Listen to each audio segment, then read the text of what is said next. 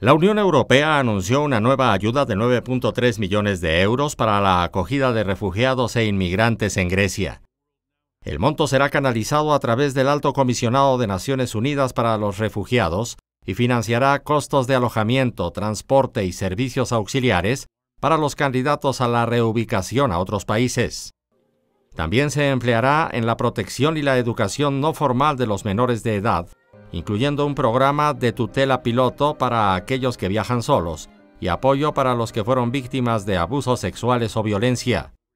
La ayuda financiera proporcionada por la Unión Europea a Grecia para la gestión de los flujos migratorios superará hasta 2020 los 1.300 millones de euros. Notimex.